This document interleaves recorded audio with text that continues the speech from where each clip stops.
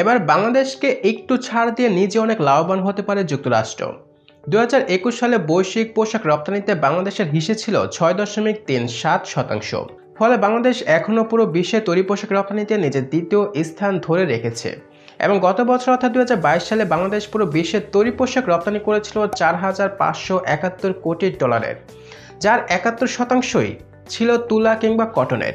এবং এর মধ্যে নশো চুয়াত্তর কোটি ডলারের তৈরি পোশাক, অর্থাৎ বাংলাদেশ পুরো বিশ্বে যত পরিমাণ তৈরি পোশাক রপ্তানি করেছে, তার পনেরো শতাংশই রপ্তানি করেছে যুক্তরাষ্ট্রের বাজারে। এবং বাংলাদেশ এই যে নয়শো চুয়াত্তর কোটি ডলারের তৈরি পোশাক যুক্তরাষ্ট্রের বাজারে রপ্তানি করেছে, তারও কিন্তু একাত্তর শতাংশই ছিল তুলা কিংবা কটনের তৈরি। কিন্তু সমস্যা হচ্ছে যে বাংলাদেশের ভিতর তেমন কোনো তুলা উৎপাদন হয় না। বাংলাদেশ তার প্রয়োজনীয় তুলা নিরানব্বই শতাংশই কিন্তু বহির্বিশ্ব থেকে বা বাইরের থেকে আমদানি করে। গত বছর বাংলাদেশ পুরো বিশ্বের কাছ থেকে চারশো আট কোটি পাউন্ডের তুলা আমদানি করেছিল, যার মধ্যে যুক্তরাষ্ট্র কাছ থেকে আমদানি করেছিল চল্লিশ কোটি। অর্থাৎ বাংলাদেশ যত পরিমাণ তুলা আমদানি করেছে, তার দশ শতাংশ আমদানি করেছে যুক্তরাষ্ট্রের কাছ থেকে।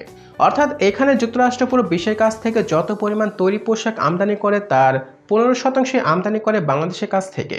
এবং বাংলাদেশও পুরো বিশ্বের কাছ থেকে যে পরিমাণ তুলা আমদানি করে, তার দশ শতাংশ আমদানি করে যুক্তরাষ্ট্রের কাছ থেকে।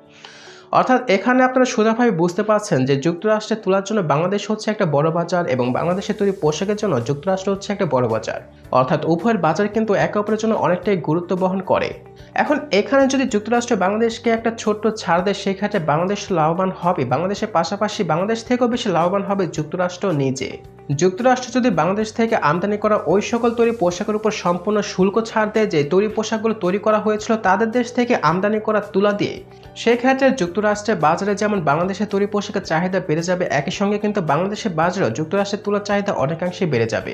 শুল্ক ছাড় দেওয়ার ফলে কিন্তু যুক্তরাষ্ট্রের বাজারে বাংলাদেশের তৈরি পোশাকের দাম অনেকটাই কমে যাবে, ফলে সেখানে কিন্তু বাংলাদেশের তৈরি পোশাকের চাহিদা বাড়তে থাকবে। এবং অন্যদিকে কিন্তু বাংলাদেশ ও যুক্তরাষ্ট্রের বাজারে রপ্তানি করা তৈরি পোশাক উৎপাদনে প্রয়োজনীয় সকল তুলাই কিন্তু যুক্তরাষ্ট্রের কাছ থেকে আমদানি করবে। ফলে যুক্তরাষ্ট্রের তুলা ব্যবসায়ীরা বাংলাদেশে ভরপুর তুলা রপ্তানি করে লাভবান হতে পারবেন। অন্যদিকে কিন্তু গত বছর যখন যুক্তরাষ্ট্র বাংলাদেশের কাছ থেকে নশো চুয়াত্তর কোটি ডলারের তৈরি পোশাক আমদানি করেছিল, তখন কিন্তু যুক্তরাষ্ট্রের ব্যবসায়ীদেরকে সেখানকার সরকারকে একশো পঞ্চান্ন কোটি ডলারে শুল্ক দিতে হয়েছিল। এবং এই শুল্ক যদি ছাড় দেওয়া হয়, সেক্ষেত্রে যুক্তরাষ্ট্রের সাধারণ মানুষরা, বিশেষ করে মিডল ক্লাসের মানুষেরা সাশ্রয়ী মূল্যে তৈরি পোশাক কিনতে পাবে। বিশেষ করে এই সময় যখন পুরো বিশ্বে একটা আর্থিক মন্দা চলছে। এবং এই শুল্ক সুবিধা পেতে কিন্তু বাংলাদেশের তরফ থেকে অলরেডি উদ্যোগ নিয়ে নেওয়া হয়েছে। সম্প্রতি কিন্তু বাংলাদেশের বিজি এম এর সভাপতি ফারুক হাসান বাংলাদেশে নিযুক্ত যুক্তরাষ্ট্রের রাষ্ট্রদূত পিটার ডি হাস এবং যুক্তরাষ্ট্রের টেক্সাসের গভর্নর এবং সিনেটরকে একটি চিঠিও দিয়ে দিয়েছে এই শুল্ক সুবিধা পাওয়ার জন্য। যদিও এখন এই চিঠির কোনো প্রকার উত্তর আসেনি, কিন্তু যদি এই চিঠির একটা পজিটিভ উত্তর আসে, সেক্ষেত্রে বাংলাদেশ এবং যুক্তরাষ্ট্রের ব্যবসা অন্য মাত্রায় পৌঁছে যাবে। এই খবর ব্যাপারে আপনাদের মন্তব্য আপনারা অবশ্যই কমেন্টের মাধ্যমে জানিয়ে দিবেন। আজকে ভিডিও এ পর্যন্ত ছিল। আসসালামু আলাইকুম।